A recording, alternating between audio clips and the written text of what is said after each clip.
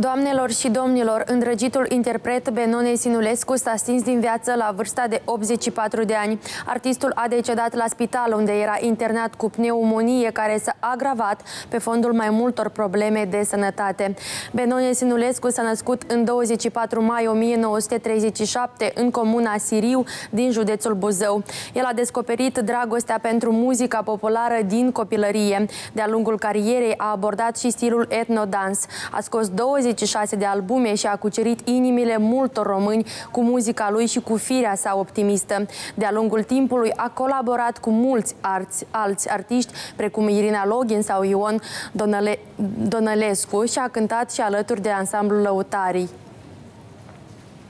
Prin pădure, pe cărare, ești cu mândra ca plimbare, mănânca irsitiu și de mele plagăciu, și de două mititele și un scaun mândre mele, iau, zau, zau, zau, iau, zau, zau, iau, zau, zau, zau, iau, zau, zau. Considerat unul dintre cei mai mari artiști de muzică folclorică din toate timpurile, Benone Sinulescu a avut ocazia să întâlnească unele dintre cele mai mari personalități ale culturii române. Artistul i-a cunoscut personal pe scriitorul Mihail Sadoveanu și pe interpreta Maria Tănase.